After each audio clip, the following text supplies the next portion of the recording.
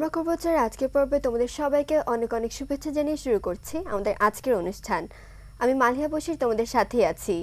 বরাবর মতো অনুষ্ঠানের শুরুতেই জানিয়ে দিচ্ছি, এই সপ্তাহের সংবাদ শিরোনামগুলো।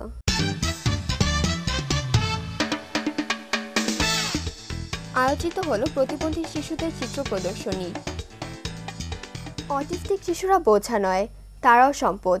প্রয়োজনীয় সুযোগ ও সুবিধা পেলে তারাও সবকিছু করতে পারে। এই কথাটি প্রমাণ করার জন্য ধানমন্ডি দৃক গ্যালারিতে আয়োজন করা হয় একটি চিত্র প্রদর্শনীর। এখানে অটিস্টিক শিশুদের আঁকা বিভিন্ন ছবি স্থান পায়। তিন দিনব্যাপী চিত্র প্রদর্শনীর বিস্তারিত জানাচ্ছে আমাদের রিপোর্টার জাহিদুল আলম ওবি। বাংলাদেশের মোট জনসংখ্যার প্রায় এক তৃতীয়াংশ হলো শিশুরা স্বাভাবিকভাবেই পরনির্ভরশীল হয়ে থাকে।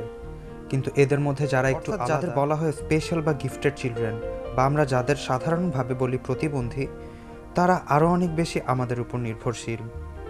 কিন্তু আমাদের সমাজের প্রেক্ষাপট একেবারেই ভিন্ন। যারা আমাদের উপর এতটা নির্ভর করে, আমাদের সাহায্য ও সহযোগিতা ছাড়া যাদের জীবনযাপন করা একেবারেই অসম্ভব, আমরা তাদেরই সবচেয়ে বেশি অবহেলা করি। আমরা বুঝতে পারি না তাদের ভিতরে কতটা প্রতিভা লুকিয়ে আছে। তাদের একটু তারা অনেকটা স্বাভাবিক জীবনে ফিরে আসতে সক্ষম। তাই আমাদের দেশের প্রতিটি পরিবারকে সচেতন করার লক্ষ্যে গত আট ডিসেম্বর স্কুল ফর গিফটেড চিলড্রেনের বিশেষ চাহিদা সম্পন্ন শিশুদের আঁকা তিন দিনব্যাপী চিত্র প্রদর্শনী ধানমন্ডির ড্রিক গ্যালারিতে উদ্বোধন অনুষ্ঠানটি উদ্বোধন করেন মাননীয় প্রধানমন্ত্রীর উপদেষ্টা জনাব হোসেন তৌফিক ইমাম।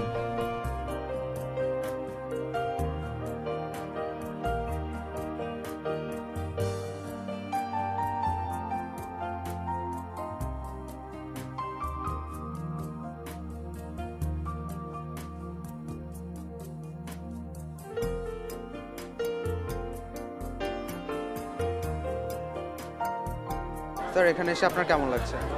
আমার খুবই ভালো লাগছে। আমি ওখানে মন্তব্যে লিখেছি, আমি অভিভূত, চমৎকৃত এবং বাচ্চাদের এই পরিবেশে আর এদের যে চমৎকার হাতের কাজ, রঙের বৈচিত্র্য এবং রং ব্যবহার, তুলিতে এত সুন্দর কল্পনা, চমৎকার যেমন এই ছবিটার সামনে আমরা দাঁড়িয়ে আছি, আমি ভাবতেই পারিনি। প্রথমে এখন দেখছি ভালো করে যে এটা ওই যে আমরা হ্যামেলিনের বংশীবাদক বাচ্চাদের বাংলায় পড়ে আমরা পড়েছি পাইট পাইপার অফ হ্যামিলন এই দেখো, সে বাঁশি বাজাচ্ছে ইঁদুরগুলো দৌড়ে এসে নদী থেকে, নদীতে ঝাঁপিয়ে পড়ছে। এই যেমন এমনকি নদীর যে পার, এখানে যে উচ্চতা, এটা পর্যন্ত দেখা যাচ্ছে।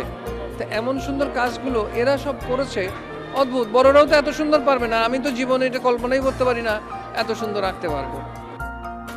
আয়োজক, দর্শনার্থী, সকলেই মনে করেন গিফটেড চিলড্রেনদের বিভিন্ন ক্ষেত্রে পারদর্শিতা থাকে। এ সকল সুপ্ত প্রতিভা বিকাশে উপযুক্ত পৃষ্ঠপোষকতা প্রয়োজন। জাহিদুল আলম মফি, আমরা করব জয়, এটিএন বাংলা, ঢাকা।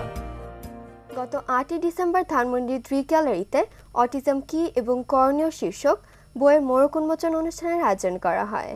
মোড়ক উন্মোচন অনুষ্ঠানে প্রধান অতিথি হিসেবে উপস্থিত ছিলেন মাননীয় প্রধানমন্ত্রীর উপদেষ্টা জনাব হোসেন তৌফিক ইমাম এবং বিশেষ অতিথি হিসেবে জনাব সঞ্জয় প্রকাশ।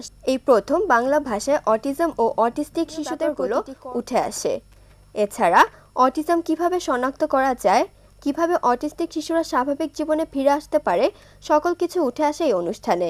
বইটি লিখেছেন অটিজমের যে বৈশিষ্ট্যগুলো আছে যেমন সামাজিকতা খেলা এবং যোগাযোগের যে সমস্যাগুলো আছে এই ব্যাপারগুলো নিয়ে বিস্তারিত আলোচনা করার চেষ্টা করেছি।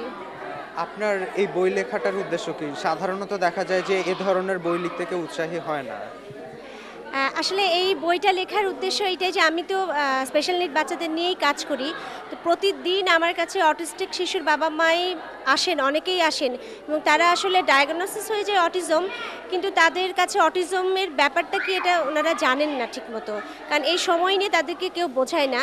আমি এই বইটা লিখেছি এই কারণে যে একটা মা যখন বাচ্চা অটিজম হবে তখন যেন এই বইটা পড়ে সে বুঝতে পারে যে আসলে অটিস্টিক বিষয়টা কি, এটা কোনো দিন ভালো হবে কি হবে না, বাচ্চাকে আমরা ম্যানেজমেন্টটা কি দিব? এই ব্যাপারগুলো মাদেরকে সহজভাবে বোঝানোর জন্য আমি বইটা লিখেছি।